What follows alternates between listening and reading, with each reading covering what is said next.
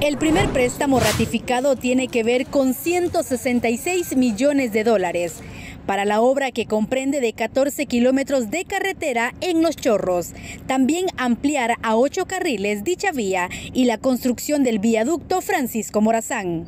Proyecto que generará crecimiento económico, señalaron algunos diputados. Va a mejorar el comercio, la conectividad desde el país de Guatemala, por, pasando por la zona occidental, el área metropolitana de San Salvador y llegando hasta el oriente del país.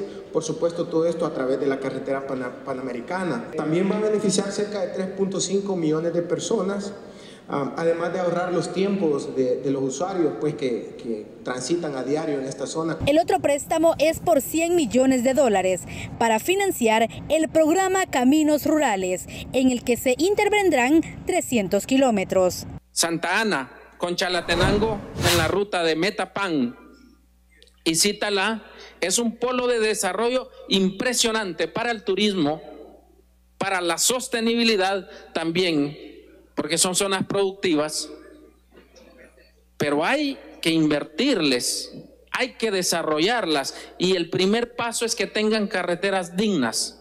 Y para impulsar el crecimiento económico en los sectores productivos, el Pleno aprobó que Van de Sal disponga de recursos provenientes del BCIE para que puedan seguir potenciando a las MIPIMES del país.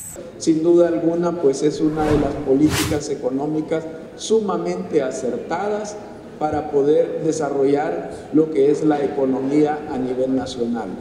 Estamos en una situación óptima que lo que requieren los micro, pequeños y medianos empresarios solo es un poco de ayuda económica. Otros legisladores señalaron que estos fondos también servirán para generar más fuentes de empleos.